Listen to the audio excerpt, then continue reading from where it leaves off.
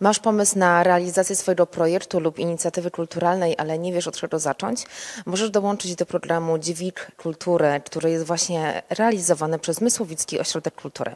A o całym przedsięwzięciu i jego zasadach opowie nam dzisiejszy gość Basia Wójcik-Wiktorowicz, która jest koordynatorem projektu. Dzień dobry, cześć. O co chodzi w Dźwigu Kultury?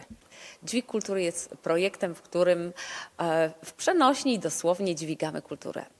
Chcemy mm, wypatrzeć, wyszukać osoby, które kryją się gdzieś w zakamarkach, które być może robią coś do szuflady, które mają potencjał twórczy, mają pomysły e, i właściwie coś ogranicza ich e, chęć wyjścia. Być może mm, zaistnieje taka sytuacja, że, że ktoś zauważy taką osobę i przyprowadzi ją do nas, a może będzie to po prostu impuls, jak dzisiejszy program, w którym e, przekona się do tego, że warto do nas przyjść. Skupiacie się głównie na tych trzech dzielnicach. Jest to, są to Morgi, Dziedzkowice i Wesoła, no i też przede wszystkim na filiach Mysłowickiego Ośrodka, w których będzie e, realizowany ten program. Dlaczego właśnie akurat na tych trzech dzielnicach? Chcielibyśmy e, zrealizować ten program na wszystkich dzielnicach, ale nie jest to możliwe. Ten projekt nie jest zbyt duży, e, więc staramy staramy się zrobić jak najwięcej, aczkolwiek nie możemy e, ogarnąć wszystkiego. Wybraliśmy dzielnice, które są e, najbardziej oddalone od centrum, które są malutkie, e, gdzie ta oferta kulturalna ze względu właśnie na gabaryty chociażby tego ośrodka jest e, mniejsza.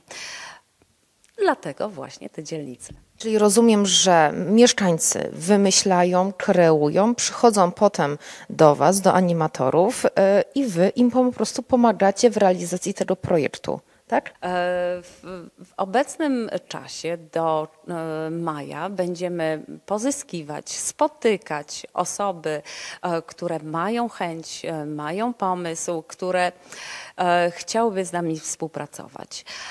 W naszym projekcie mm, damy im możliwość e, rozwinięcia skrzydeł. Chcemy, żeby przychodząc do nas na te spotkania, poznali, jak to się robi i e, mogli swoją inicjatywę zrealizować.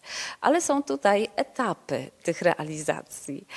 E, w obecnym czasie do czerwca, tak jak wspomniałam, jest to czas poszukiwań, jest to czas rozmów z animatorem, z badaczem. Będziemy organizować spotkania i na te spotkania gorąco zapraszamy wszystkich tych, którym nawet najmniejszy pomysł świta w głowie, a jeszcze on nie wykluł się do końca. E, na tych spotkaniach być może e, właśnie wtedy on rozkwitnie i będzie mógł zostać aplikowany do nas. E, dlaczego? Dlatego, że od lipca do listopada będziemy realizować te przedsięwzięcia.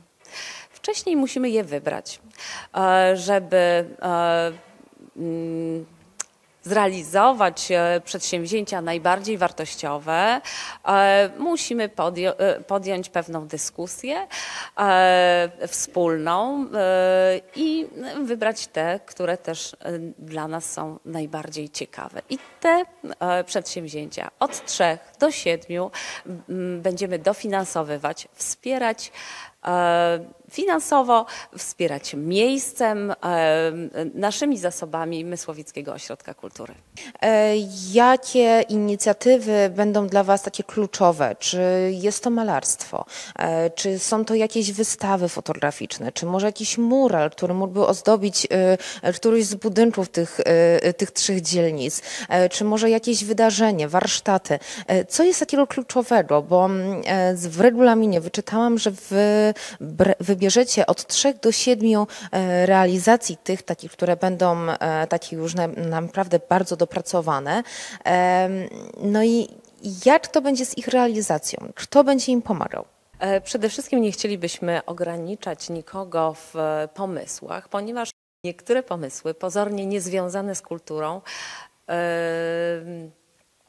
wcale nie są e, pomysłami wykluczonymi. One mogą się z tą kulturą na różny sposób e, zbiegać, e, ponieważ pomysły, z którymi przychodzą do nas mieszkańcy, mogą być powiem najprościej zmiksowane też z różnymi technikami, którymi operujemy malarskimi, filmowymi, e, m, scenicznymi.